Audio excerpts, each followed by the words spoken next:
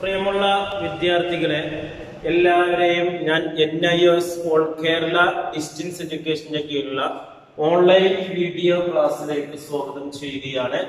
ഇന്ന് ഞാൻ നിങ്ങൾക്ക് മുമ്പിൽ പ്രസന്റ് ചെയ്യുന്നത് N I S plus two political സയൻസിന്റെ പന്ത്രണ്ടാമത്തെ chapter supreme court of India ഇന്ത്യയിലെ സുപ്രീം കോടതിയെ കുറിച്ചിട്ടാണ് നമ്മൾ വിശദീകരിക്കുന്നത്. ഫസ്റ്റ് പാർട്ട് ടെക്സ്റ്റ് ബുക്കിൽ വരുന്ന അധ്യായമാണ് വളരെ ഇമ്പോർട്ടന്റ് ആയിട്ടുള്ള അധ്യായങ്ങളാണ് നിങ്ങൾക്ക് എടുത്തുകൊണ്ടിരിക്കുന്നത്. വരും ദിവസങ്ങളിൽ നിങ്ങൾക്ക് മറ്റുള്ള ചാപ്റ്റേഴ്സുകളും അതുപോലെ തന്നെ എല്ലാ വിഷയങ്ങളുടെയും ക്ലാസ്സുകൾ ലഭിക്കാൻ വേണ്ടിയിട്ടും എൻ എ എസിന്റെ S S L C plus two admission കേരളത്തിന്റെ പതിനാല് ജില്ലകളിലും നമ്മൾ അഡ്മിഷനും അതിന്റെ ക്ലാസ്സുകൾ ഗൈഡുകൾ അസൈൻമെന്റ് വർക്കുകൾ എല്ലാം നമ്മൾ സെന്ററിന്റെ കീഴിൽ ചെയ്തു കൊടുക്കുന്നുണ്ട്. വളരെ കുറഞ്ഞ ഫീസിൽ നിങ്ങളുടെ ജില്ലയിൽ തന്നെ എക്സാം സെന്റർ ആയിട്ട് അതിന്റെ അഡ്മിഷൻ വർക്കുകൾ ചെയ്യുന്നുണ്ട്. അതേപോലെ തന്നെ വിവിധ യൂണിവേഴ്സിറ്റികളുടെ ഡിഗ്രി പി ജി രജിസ്ട്രേഷൻ അതിന്റെ ക്ലാസ്സുകളൊക്കെ N I S all Kerala distance എഡ്യൂക്കേഷന്റെ കീഴിൽ നമ്മൾ ചെയ്തു കൊടുക്കുന്നുണ്ട്. കൂടുതൽ വിവരങ്ങൾക്ക് എന്റെ ചാനൽ നിങ്ങൾ ലൈക്ക് ചെയ്യുക ഷെയർ ചെയ്യുക കമന്റ് ചെയ്യുക സബ്സ്ക്രൈബ് ചെയ്യുക. പ്രത്യേകിച്ച് ബെൽ ഐക്കൺ ക്ലിക്ക് ചെയ്യുക. എന്റെ പ്രിയമുള്ള വിദ്യാർത്ഥികളെ കഴിഞ്ഞ അധ്യായങ്ങളിലൊക്കെ നമ്മൾ പ്രസിഡന്റ് പ്രധാനമന്ത്രി അതേപോലെ തന്നെ രാജ്യസഭ ലോകസഭ അവയുടെ പ്രവർത്തനങ്ങളെ കുറിച്ചിട്ടൊക്കെയാണ് ചർച്ച ചെയ്തിരുന്നത്. ഇതിൽ നമ്മളുടെ സുപ്രീം കോടതിയാണ്. ഇന്ത്യയിലെ ഏറ്റവും പരമോന്നത കോടതി എന്ന് അറിയപ്പെടുന്നത് സുപ്രീം കോടതിയാണ്. അപ്പീലുകൾ ഏറ്റവും മേലെ തട്ടിൽ പോകുന്നത് സുപ്രീം കോടതിയിലാണ്. ജില്ലാ കോടതി വരുന്നുണ്ട്. ജില്ലാ കോടതിയിൽ നിന്ന് അപ്പീൽ പോകുന്നത് ഹൈക്കോടതി. ഹൈക്കോടതിയിൽ നിന്ന് പിന്നെ ലാസ്റ്റ് പോകുന്നത് എവിടെയാണ്? സുപ്രീം കോടതിയിലേക്കാണ്. പോകുന്നത് അപ്പൊ ഇതിന്റെ ചോദ്യോത്തരങ്ങളിലേക്ക് നമ്മൾ പോകാം. Describe the composition of supreme court of India supreme കോടതിയുടെ ഘടന വിശദീകരിക്കുക സുപ്രീം കോടതിയെ കുറിച്ചിട്ട് മൊത്തമായിട്ട് അതിന്റെ ഘടന ഒന്ന് കോമ്പോസിഷൻ എന്ന് പറഞ്ഞാൽ അതിന്റെ ഘടന വിവരിക്കാനാണ് പറയുന്നത്. നമ്മൾ പറഞ്ഞത് ഇന്ത്യയിലെ ഏറ്റവും വലിയ പരമോന്നത കോടതി എന്നറിയപ്പെടുന്നത് സുപ്രീം കോടതിയാണ്. സുപ്രീം കോടതിയിലെ മുഖ്യ ന്യായാധിപനും ഇരുപത്തി അഞ്ച് മറ്റ് ന്യായാധിപരുമുണ്ട്. അപ്പോൾ ഒരു മുഖ്യ ന്യായാധിപനായിട്ട് ഒരാളുണ്ട്. അത് കൂടാതെ ഇരുപത്തഞ്ച് വേറെ ന്യായാധിപന്മാരുണ്ട്. മുഖ്യ ന്യായാധിപനെ പ്രസിഡന്റാണ് നിയമിക്കുന്നത്.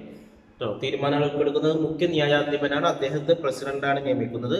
മുഖ്യ ന്യായാധിപന്റെ അഭിപ്രായം അറിഞ്ഞതിന് ശേഷം മറ്റ് ന്യായാധിപന്മാരെയും പ്രസിഡന്റ് നിയമിക്കും. ഭരണഘടന പ്രകാരം സുപ്രീം കോടതി ന്യായാധിപനായി നിയമിക്കപ്പെടേണ്ട വ്യക്തിയാണ്. അപ്പൊ ഒരു സുപ്രീം കോടതിയിൽ ഒരു ന്യായാധിപനുമാണ് മുഖ്യ ന്യായാധിപനായി തെരഞ്ഞെടുക്കേണ്ട ഒരു വ്യക്തിയുടെ ക്വാളിഫിക്കേഷൻ എന്തൊക്കെയാണ് ഒന്ന് പറയുന്നത് ഇന്ത്യൻ പോയി ഇന്ത്യൻ സിറ്റിസൺഷിപ്പ് വേണം. രണ്ട് പറഞ്ഞ ഒരു ഹൈക്കോടതിയിലോ അല്ലെങ്കിൽ അതുപോലെ തുടർച്ചയായി രണ്ടോ മൂന്നോ കോടതികളോ അഞ്ചു വർഷം ന്യായാധിപനായി പ്രവർത്തിച്ചിരിക്കണം. അപ്പൊ ഹൈക്കോടതിയിൽ അഞ്ചു വർഷമെങ്കിലും ന്യായാധിപനായി പ്രവർത്തിച്ച ഒരു വ്യക്തിക്കാണ് സുപ്രീം കോടതിയിലെ ന്യായാധിപനാകാൻ പറ്റുന്നത്. അതേപോലെ തന്നെ മൂന്നാമത്തെ കണ്ടീഷൻ പറയുന്നുണ്ട് പത്ത് വർഷത്തോളം ഒരു ഹൈക്കോടതിയിലോ അതോ രണ്ടോ മൂന്നോ കോടതികളിൽ തുടർച്ചയായി വക്കീലായി പ്രവർത്തിക്കണം. ഹൈക്കോടതിയിൽ പത്ത് വർഷം അല്ലെങ്കിൽ രണ്ടോ മൂന്നോ കോടതികളിൽ തുടർച്ചയായി വക്കീലായി പ്രവർത്തിച്ച ആളുകൾക്കാണ് ന്യായാധിപൻ. നാല് പറയുന്നത് ആ വ്യക്തി മികച്ച ന്യായാധിപനാണെന്ന അഭിപ്രായം പ്രസിഡന്റിന് ഉണ്ടായിരിക്കണം. ഒരു കാഴ്ചപ്പാടുണ്ടായിരിക്കും പ്രസിഡന്റിന് അദ്ദേഹത്തെ പഠിച്ച ക്വാളിഫിക്കേഷൻ മാത്രം പോലെ അദ്ദേഹത്തെ ഒരു ന്യായാധിപനായി നിയമിക്കാൻ പറ്റുമോ എന്നുള്ളത് പ്രസിഡന്റിന് തോന്നുകയും വേണം. അതേപോലെ തന്നെ സുപ്രീം കോടതിയിലെ ന്യായാധിപന്മാർക്ക് അറുപത്തഞ്ച് വയസ്സ് തികയുന്നത് വരെ ഉദ്യോഗത്തിൽ ഇരിക്കാമെന്നുള്ളതാണ് സുപ്രീം കോടതിയുടെ സ്ഥിരമായ ആസ്ഥാനം എന്ന് പറയുന്നത് ന്യൂഡൽഹിയിലാണ് ഇത്രയാണ് ഇടങ്ങളിൽ വരുന്നത് ഇനി രണ്ടാമത്തെ ചോദ്യമാണ്. Explain the rule and power of supreme കോർട്ടാണ് supreme കോടതിയുടെ അധികാര പരിധിയും ധർമ്മങ്ങളും എന്തൊക്കെയാണെന്നാണ് explain the rule and power of supreme കോടതി സുപ്രീം കോടതിയുടെ അധികാര പരിധിയും ധർമ്മങ്ങളും. ഇന്ത്യയിലെ പരമോന്നത കോടതിയാണ് സുപ്രീം കോടതി അത് ഇന്ത്യയുടെ ഒരു ഫെഡറൽ കോടതി എന്ന പേരിലാണ് സുപ്രീം കോടതി അറിയപ്പെടുന്നത്. മറ്റ് ഫെഡറൽ രാജ്യങ്ങളിലുള്ള ഒരു പരമോന്നത കോടതികളെക്കാൾ അധികാരം ഇന്ത്യയിലെ സുപ്രീം കോടതിക്കുണ്ട് അവ തനത് അധികാരം അപ്പീൽ അധികാരമുണ്ട് ഉപദേശിക അധികാരമുണ്ട് എന്നിങ്ങനെ മൂന്ന് തരം അധികാരങ്ങളുണ്ട്. ഇപ്പൊ സുപ്രീം കോടതി അധികാരം ഒന്ന് തനത് അധികാരമുണ്ട് രണ്ട് അപ്പീൽ അധികാരമുണ്ട് മൂന്ന് ഉപദേശ അധികാരം. ഇനി എന്താണ് ഈ തനത് അധികാരങ്ങളുണ്ട്? സുപ്രീം കോടതിയുടെ തനത് അധികാരം കൊണ്ട് എന്താണ് ഉദ്ദേശിക്കുന്നത്? താഴെ പറയുന്ന പ്രശ്നങ്ങളിൽ സുപ്രീം കോടതിക്ക് മാത്രമായി തനത് അധികാരങ്ങളുണ്ട്. അതിൽ ഒന്നാമത് പറയുന്നത് കേന്ദ്ര സർക്കാരും ഒന്നോ അതിലധികമോ സംസ്ഥാനങ്ങൾ തമ്മിലുള്ള തർക്കങ്ങളിൽ ഇടപെടാം ഇപ്പൊ കേന്ദ്ര സർക്കാരോ അല്ലെങ്കിൽ ഒന്നോ അതിലധികമോ സംസ്ഥാനങ്ങൾ തമ്മിലുള്ള തർക്കങ്ങളിൽ ഇടപെടാനുള്ള അധികാരം സുപ്രീം കോടതിക്കുണ്ട്.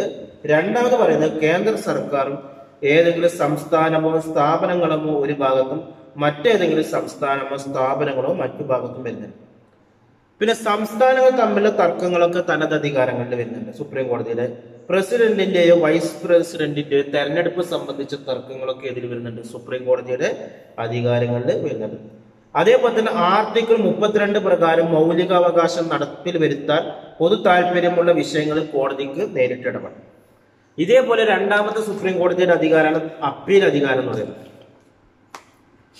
ഇന്ത്യയിലെ ഏറ്റവും ഉയർന്ന അപ്പീൽ കോടതിയാണ് സുപ്രീം കോടതി.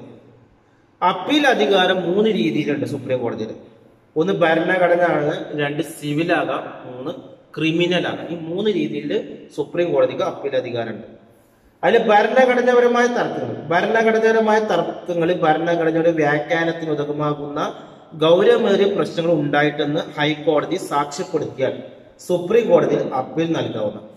അത്തരമൊരു സർട്ടിഫിക്കറ്റ് ഹൈക്കോടതി നിശ്ചയിച്ചാൽ ഭരണഘടനാ വ്യാഖ്യാനം ആവശ്യമുള്ള ഗൗരവമേറിയ നിയമപ്രശ്നം തർക്കത്തിലുണ്ടെന്ന് സുപ്രീം കോടതിക്ക് ബോധ്യമായ അപ്പീൽ നൽകുന്നതിന് പ്രത്യേക അനുമതി സുപ്രീം കോടതിക്ക് സുപ്രീം കോടതിക്ക് നൽകുന്ന. സുപ്രീം കോടതി സ്വയം മുൻകൈയെടുത്തോ അന്റോർണി ജനറലിന്റെ അപേക്ഷ പ്രകാരമോ പൊതു പൊതു പ്രാധാന്യമുള്ള വസ്തു വ്യവസാരം വ്യവഹാരം പണസംബന്ധം കുടുംബം മറ്റു ഉടമ്പടികൾ മുതലായവ കേസുകളാണ് സിവിൽ കേസുകൾ ഉൾപ്പെടുന്നത്. വ്യവഹാരങ്ങൾ സുപ്രീം കോടതിയിലേക്ക് മാറ്റുന്നതിന് ഹൈക്കോടതികളോട് ആവശ്യപ്പെടാം ഇതേപോലെ തന്നെ സിവിൽ തർക്കങ്ങൾ വരുന്നുണ്ട്. ഇപ്പൊ വസ്തു വ്യവഹാരങ്ങൾ വരുന്നുണ്ട് പണസംബന്ധമായ കാര്യങ്ങൾ വരുന്നുണ്ട് കുടുംബം മറ്റ് ഉടമ്പടികൾ മുതലായ കേസുകളാണ് സിവിൽ കേസുകൾ ഉൾപ്പെടുന്നത്. വ്യവഹാരങ്ങൾ സുപ്രീം കോടതിയിലേക്ക് മാറ്റുന്നതിന് ഹൈക്കോടതിയോട് ആവശ്യപ്പെടാം. ഹൈക്കോടതി മുമ്പാകെയുള്ള സിവിൽ തർക്കങ്ങളിൽ അതിൽ ഉൾപ്പെട്ടിരിക്കുന്ന നിയമപ്രശ്നം സുപ്രീം കോടതി തീരുമാനിക്കേണ്ടതുണ്ടെന്ന് ഹൈക്കോടതി സാക്ഷ്യപ്പെടുത്തിയാൽ ഹൈക്കോടതി വിധിക്കെതിരെ സുപ്രീം കോടതിയിൽ അപ്പീൽ ബോധിപ്പിക്കാം ഇപ്രകാരം സാക്ഷ്യപ്പെടുത്തുന്നതിന് ഹൈക്കോടതി വിസമ്മതിക്കുകയാണെങ്കിൽ സുപ്രീം കോടതി പ്രത്യേക അപ്പീലും അനുമതി നൽകിയാൽ ഹൈക്കോടതി വിധിക്കെതിരെ സുപ്രീം കോടതിയിൽ അപ്പീൽ ബോധിപ്പിക്കാം ഇനി ഇതേപോലെ തന്നെ ക്രിമിനൽ തർക്കങ്ങളുണ്ട്. ക്രിമിനൽ തർക്കങ്ങൾ ഹൈക്കോടതി വിധിക്കെതിരെ സുപ്രീം കോടതിയിൽ അപ്പീൽ ബോധിപ്പിക്കുന്നതിന് താഴെ പറയുന്ന സാഹചര്യമാണ്. കീഴ്ക്കോടതി വെറുതെ വിട്ട പ്രതിയെ അപ്പീലിനെ തുടർന്ന് ഹൈക്കോടതി കുറ്റക്കാരനായി കാണുകയും വധശിക്ഷ വിധിക്കുകയും ചെയ്താൽ സുപ്രീം കോടതിയിൽ അപ്പീൽ ബോധിപ്പിക്കാം. കീഴ്ക്കോടതിയിൽ നിന്ന് ഹൈക്കോടതി സ്വയം മാറ്റപ്പെട്ട കേസുകളിൽ വധശിക്ഷ വിധിക്കപ്പെട്ടാൽ അല്ലെങ്കിൽ ഈ വിധി സുപ്രീം കോടതിയുടെ അപ്പീൽ അധികാരത്തിന് വിധേയമാണെന്ന് സാക്ഷ്യപ്പെടുത്തിയാലും സുപ്രീം കോടതിയിൽ അപ്പീൽ ബോധിപ്പിക്കും സുപ്രീം കോടതിക്ക് ഇന്ത്യയിലെ ഏത് കോടതിയുടെയും ട്രിബ്യൂണലിന്റെയും വിധിക്കെതിരെ അപ്പീൽ നൽകുവാൻ പ്രത്യേക അനുമതിയുണ്ട്. സുപ്രീം കോടതിയുടെ അപ്പീൽ അധികാരം വർദ്ധിപ്പിക്കുന്നതിന് സുപ്രീം കോടതിയുടെ അപ്പീൽ അധികാരം വർദ്ധിപ്പിക്കുന്നതിന് നിയമം നിർമ്മിക്കാൻ പാർലമെന്റിന് അധികാരം ഇതേപോലെ തന്നെ ഉപദേശാധികാരങ്ങളുണ്ട് സുപ്രീം കോടതിക്ക്. ഇന്ത്യൻ സുപ്രീം കോടതിക്ക് ഉപദേശാധികാരമുണ്ട്. പൊതു പ്രാധാന്യമുള്ള നിയമങ്ങളും വസ്തുക്കളും സംബന്ധിച്ച് സുപ്രീം കോടതിയുടെ അഭിപ്രായം ആരായുവാൻ ഇന്ത്യൻ പാർലമെന്റ് ആഗ്രഹിക്കുകയാണെങ്കിൽ പ്രസ്തുത വിഷയം സുപ്രീം കോടതിയുടെ അഭിപ്രായത്തിനായി സമർപ്പിക്കാവുന്നതാണ്. ഉപദേശക അധികാരത്തെ കുറിച്ച് സൂചിപ്പിക്കുന്ന ആർട്ടിക്കിൾ നൂറ്റി നാൽപ്പത്തി മൂന്നിൽ രണ്ട് വ്യവസ്ഥകളുണ്ട്. ഒന്നാം വ്യവസ്ഥ പ്രകാരം അഭിപ്രായം ആരായുകയാണെങ്കിൽ സുപ്രീം കോടതിക്ക് അഭിപ്രായം പറയുവാനും പറയാതിരിക്കുവാനും സ്വാതന്ത്ര്യമുണ്ട്. പക്ഷേ രണ്ടാമത്തെ വ്യവസ്ഥ അനുസരിച്ച് ഒരു പ്രശ്നം റെഫർ ചെയ്യുകയാണെങ്കിൽ അഭിപ്രായം പറയാം സുപ്രീം കോടതിക്ക് ബാധ്യമാണ് നാലാമത് പറയുന്ന സ്വന്തം വിധി പ്രകാരം പുനഃപരിശോധിക്കുന്ന അധികാരമുണ്ട്. സ്വയം പ്രഖ്യാപനം നടത്തിയ ഏതൊരു വിധിയും പുനഃപരിശോധിക്കാനുള്ള അധികാരം സുപ്രീം കോടതിക്കുണ്ട്. തെറ്റുകൾ പറ്റുന്നതിനുള്ള ബാധ്യത തള്ളിക്കളയാനുള്ളതല്ല എന്ന ധാരണയിലാണ് ഈ അധികാരം നൽകപ്പെട്ടിരിക്കുന്നത് സുപ്രീം കോടതി വിധിയെ ചോദ്യം ചെയ്യുന്നതിനുള്ള അധികാരമുള്ള ഒരു അധികാര സ്ഥാനം ഇന്ത്യയില്ല സ്വന്തം വിധി പ്രസ്താവം പുനഃപരിശോധിക്കാനുള്ള അധികാരം കോടതിക്കില്ലെങ്കിൽ അബദ്ധ വിധി പ്രസ്താവം എല്ലാ കാലവും നിലനിൽക്കും. അതിനാലാണ് ഭരണഘടന സ്വന്തം വിധി ന്യായങ്ങൾ പുനഃപരിശോധിക്കുന്നതിന് സുപ്രീം കോടതിയെ അധികാരപ്പെടുത്തി ഇനി അടുത്ത ചോദ്യമാണ് what is mean by court of രേഖ രേഖാ കോടതി എന്നാൽ എന്താണ്? ഭരണഘടന സുപ്രീം കോടതിയെ ഒരു രേഖാ കോടതിയായി വിഭാവനം ചെയ്യുന്നു. സുപ്രീം കോടതിയിൽ സൂക്ഷിച്ചിരിക്കുന്ന രേഖകൾക്ക് നിയമപരവും ഭരണപരമായ പ്രാധാന്യം. അപ്പൊ സുപ്രീം കോടതിയാണ് രേഖാ കോടതി എന്ന് പറയുന്നത്. അവിടെ ഭരണപരവും നിയമപരമായ രേഖകൾ സൂക്ഷിച്ചിട്ടുണ്ട്. രാജ്യത്തെ ഏത് കോടതിയിലും ഒരു പ്രശ്നം സമർത്ഥിക്കുന്നതിനോ നിരസിക്കുന്നതിനുള്ള സാക്ഷിയായി ആ രേഖകൾ ഉപയോഗിക്കും സുപ്രീം കോടതിക്ക് കോർട്ട് ലക്ഷ്യത്തിന് ശിക്ഷ നൽകാനുള്ള അധികാരമുണ്ട്. ഗവൺമെന്റിന്റെ എല്ലാ ഘടകങ്ങൾക്കും അധികാരം ലഭിക്കുന്നതിന് ഭരണഘടന എന്നാണ്. സുപ്രീം കോടതിക്ക് നീതിന്യായ പുനഃപരിശോധന അധികാരമുണ്ട്. ഏതെങ്കിലും നിയമമോ എക്സിക്യൂട്ടീവ് നടപടിയോ ഭരണഘടനാ വ്യവസ്ഥ ലംഘിക്കുകയാണെങ്കിൽ അതിനെ ഭരണഘടനാ ലംഘം എന്നോ അസാധു എന്നോ അധികാര പരിധിക്ക് പുറത്തുള്ളതെന്നോ പ്രഖ്യാപിക്കുന്നുണ്ട്. Judicial review. ഭരണഘടനയുടെ സംരക്ഷകനായിട്ടാണ് സുപ്രീം കോടതി വർത്തിക്കുന്നത് ഓരോ ഗവൺമെന്റ് ഘടകത്തിനും ഭരണഘടന ചില അധികാരങ്ങളും പരിമിതിയും കൽപ്പിച്ചിട്ടുണ്ട്. ഈ പരിമിതികൾ ലംഘിക്കുന്ന എക്സിക്യൂട്ടീവിനും ലെജിസ്ലേറ്ററിന്റെയും നടപടികൾ അസാധുവാക്കുന്നതിന് സുപ്രീം കോടതിക്ക് അധികാരം നൽകുന്ന അനേക വ്യവസ്ഥകൾ ഭരണഘടനയിലുണ്ട്.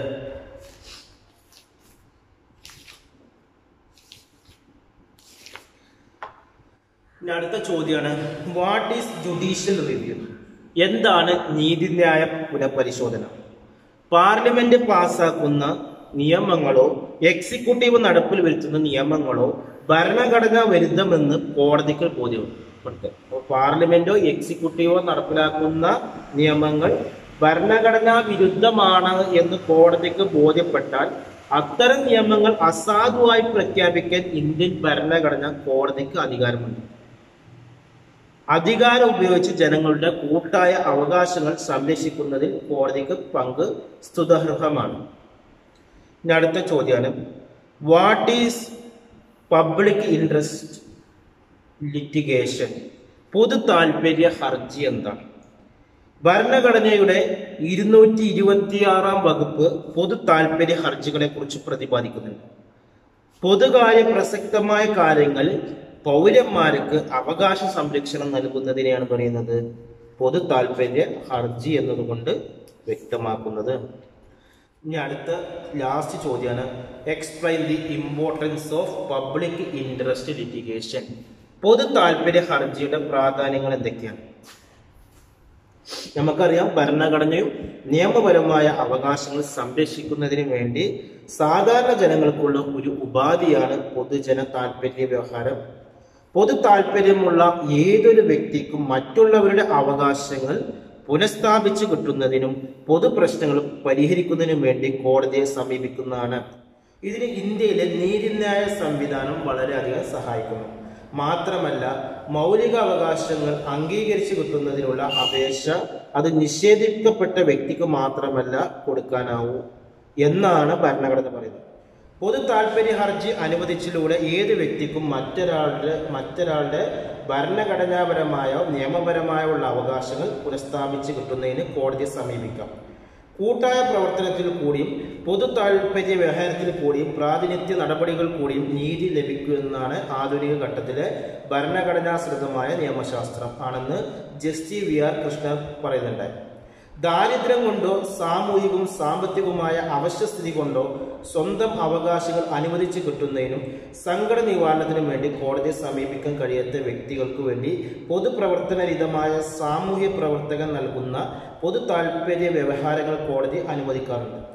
പൊതു താല്പര്യ വ്യവഹാരം അനുസരിച്ച് ഒരു വ്യക്തിക്കോ സാമൂഹ്യ സംഘടനക്കോ ഏതെങ്കിലും ഉത്തരവോ നിർദ്ദേശമോ കിട്ടുന്നതിനായി ആർട്ടിക്കിൾ ഇരുന്നൂറ്റി പ്രകാരം ഹൈക്കോടതിയിൽ സമീപിക്കുന്നതാണ്. ആർട്ടിക്കിൾ മുപ്പത്തിരണ്ട് പ്രകാരം വ്യക്തിക്ക് പ്രശ്നത്തിൽ വേണ്ടത്ര താല്പര്യമുണ്ടോ അതോ ദുരുദ്ദേശമോ രാഷ്ട്രീയ മുതലെടുപ്പോ ഉണ്ടോ എന്ന് കോടതിക്ക് തീരുമാനിക്കുന്നതിന്. പൊതു താല്പര്യ വേദങ്ങൾ അനുവദിച്ചു വഴി ആർട്ടിക്കിൾ മുപ്പത്തിരണ്ടിന്റെ വ്യാപ്തി കോടതി ഗണ്യമായി വർദ്ധിപ്പിച്ചു.